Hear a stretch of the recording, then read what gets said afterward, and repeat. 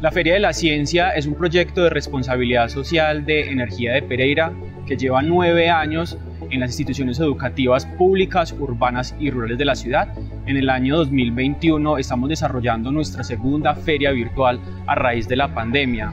La Feria de la Ciencia es un proyecto encaminado en incentivar la investigación, ciencia y tecnología a partir de ejes temáticos como las ciudades inteligentes, la transformación digital y la sostenibilidad social enfocadas en dar soluciones para la ciudad de Pereira. Invitamos a todas las personas a que se conecten el próximo viernes 29 de octubre a partir de las 3 pm a través de nuestras redes sociales, el Facebook de Empresa de Energía de Pereira, para que nos acompañen en la premiación de todos los estudiantes que participaron de este proyecto durante el año 2021.